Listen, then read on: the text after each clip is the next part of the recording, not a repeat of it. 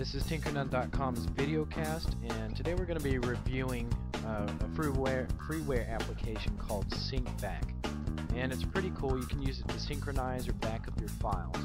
It's uh, found at the URL here, so if you want to, just pause the video and uh, and download that application. Uh, and then once it's downloaded, just uh, uh, extract the files and run the setup program that's within the, the extracted files and then um, just uh, create a profile once you've uh, once you've installed it, and you can either choose to backup or synchronize it. And then it's just going to ask you to create a profile, and you can put anything.